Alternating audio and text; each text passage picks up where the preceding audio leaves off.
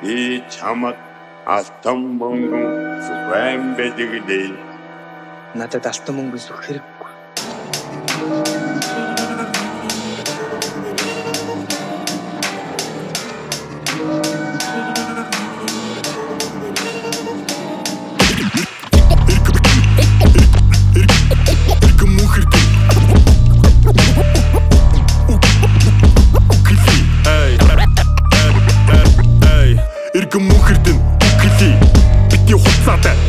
Идэж усан боломжуудаа эргүүлж та нар буцааж тавь.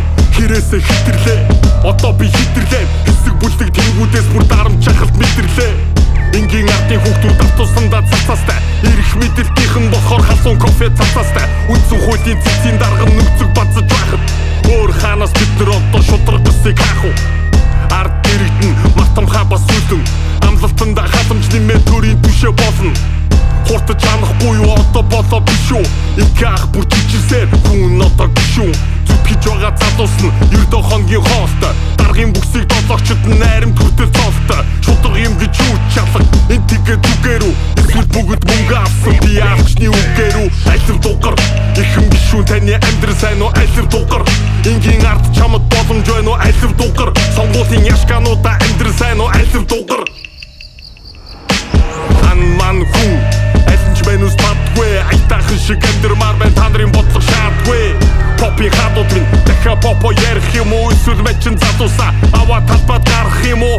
Нуу ата хүртэн сандан суудал өгч байна. Сонгуулийн янхнууд нь тэднийг бүр хөгч байна. Юуч битгүй баяны бацаан амьдрах ухаан зааж байна. Төдөө Монголд хүүхийн хамаатнууд бол гоё шааж байна. Тэгши сүнэг сургаар лагер дээрээ суудаг. Боловсролтой залуусыг гамаал мэтэр дуудаг. Доктор гişүнэ шүтсэр байна уу фэнүүдэ? Өнөөдрийн өөхөндөө